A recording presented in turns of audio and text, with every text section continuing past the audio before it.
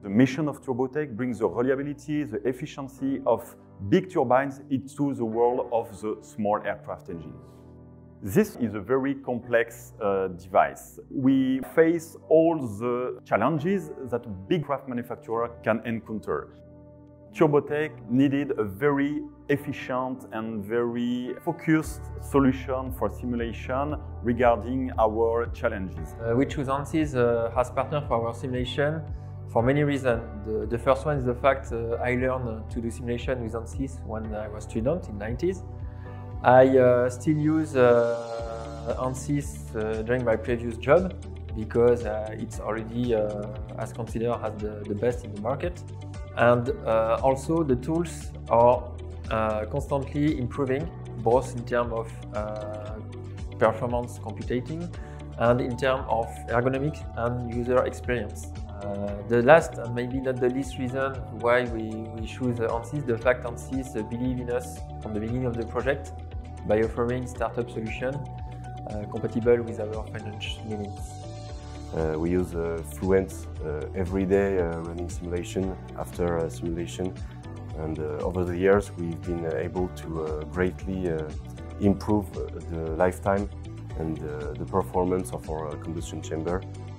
Our simulation is, is essential for the development of our products.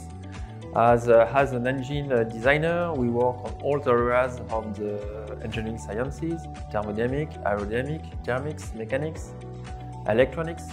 And in all these areas, we need uh, the, the best in 3D simulation. In fact, to be at the top level of the, the world standard. All these simulation tools uh, allow us to be agile and very efficient for the development of our products.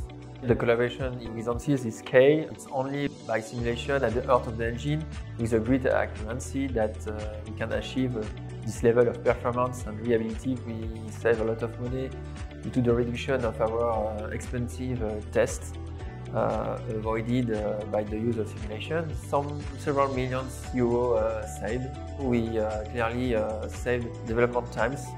with the accuracy of ANSYS tools, we increase a lot the performance in terms of fuel consumption, weight, reliability.